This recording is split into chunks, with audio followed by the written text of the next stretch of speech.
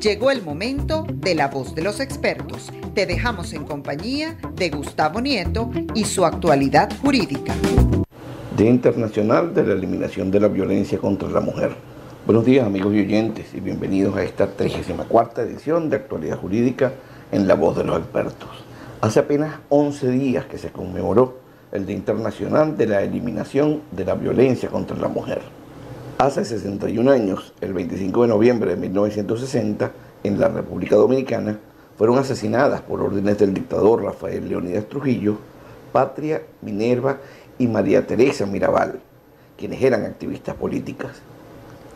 En 1981 se celebró en Bogotá, Colombia, el primer encuentro feminista latinoamericano y del Caribe, donde se decidió marcar el 25 de noviembre como el Día Internacional de la No Violencia contra las, Mujeres, en memoria de las hermanas Mirabal.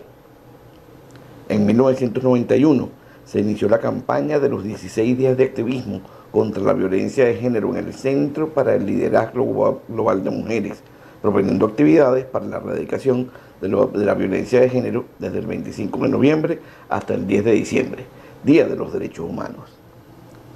En 1993, la Asamblea General de las Naciones Unidas aprobó la Declaración sobre la Eliminación de la Violencia contra la Mujer, en la que definió el término violencia contra la mujer en los siguientes términos.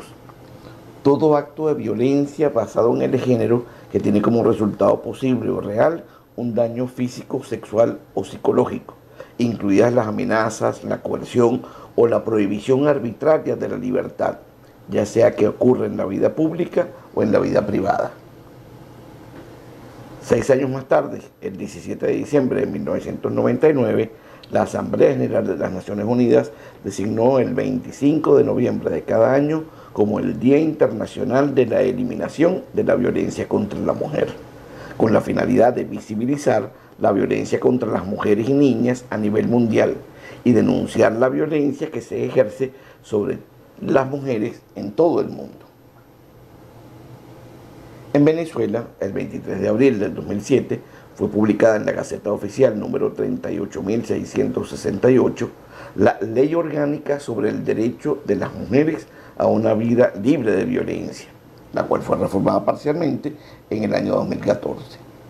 Esta ley tiene por objeto garantizar y promover el derecho de las mujeres a una vida libre de violencia, creando condiciones para prevenir, atender, sancionar y erradicar la violencia contra las mujeres en cualquiera de sus manifestaciones y ámbitos, impulsando cambios en los patronos socioculturales que sostienen la desigualdad de género y las relaciones de poder sobre las mujeres, para favorecer la construcción de una sociedad justa, democrática, participativa, paritaria y protagónica. Han transcurrido 14 años desde la entrada en vigencia de esta ley y 6 de su reforma.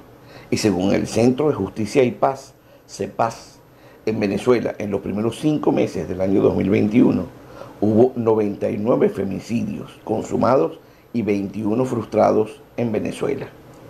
La Oficina Regional para las Américas y el Caribe de la Entidad de las Naciones Unidas para la Igualdad de Género y el Empoderamiento de las Mujeres, o no mujeres, define, define el femicidio como el asesinato de una mujer por el hecho de serlo, el final de un continuum de violencia y la manifestación más brutal de una sociedad patriarcal.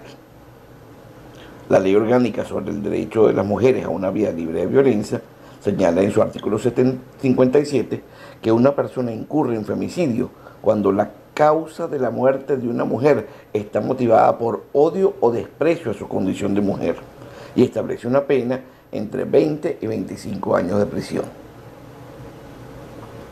De ese total de femicidios en los primeros cinco meses de este año 2021, las edades de las víctimas variaron entre los 13 y los 62 años. El 25% de las víctimas tenía por lo menos un hijo menor de edad.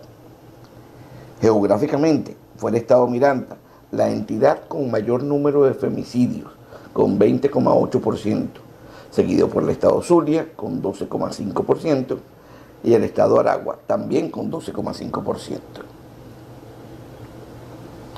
Sobre los agresores, en el 33,3% de los casos no existía una relación entre la víctima y su agresor. En el 29,2% de los casos sí existía un vínculo de parejas o exparejas entre la víctima y su agresor. Y en el 16,7% de los casos, el femicida fue un miembro de la familia de la víctima, el padre, padrastro, hermano, hijo, hijastro, primo, etc.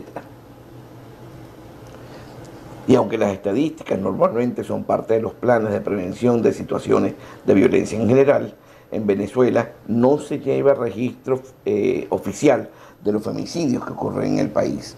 Y es por esta razón que los expertos dependen de las estadísticas no oficiales, como las llevadas por el Centro de Justicia y Paz, CEPAS. El Día Internacional de la Eliminación de la Violencia contra la Mujer, recientemente conmemorado, nos brinda la oportunidad de reflexionar sobre este tema de relevante importancia y nos da la oportunidad de reclamar la aplicación de políticas prácticas para su erradicación. Recordando que no basta legislar ni reflexionar, si no se atacan las raíces que generan esta situación. Bueno amigos, esto es todo en el programa de hoy y hasta una próxima oportunidad cuando podamos volver a conversar sobre estos interesantes temas legales, porque la ley es del interés de todos. Los acompañó en nuestros micrófonos Gustavo Nieto, certificado de locución 54913. ¿Quieres más detalles o enviar una duda a los expertos de este programa? Escríbenos desde el portal www.micondominio.com.